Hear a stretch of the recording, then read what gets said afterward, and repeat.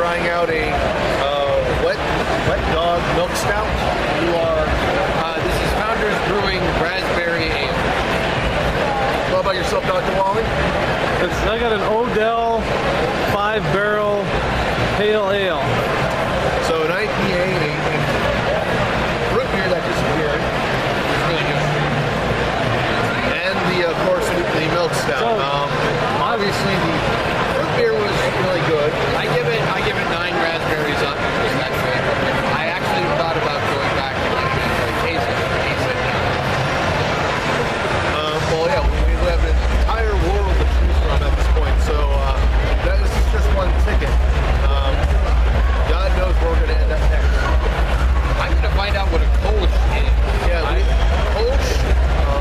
Try that next. So how was yours tasting there, Anthony? We haven't gotten um, yet.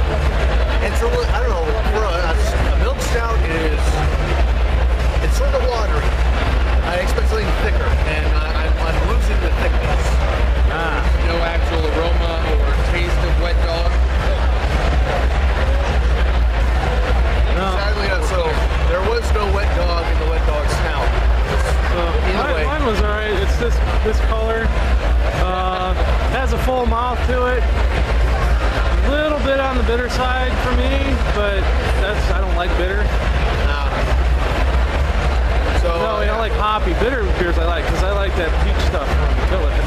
Um, the the burp factor though, it doesn't taste good when you burp. Duly noted.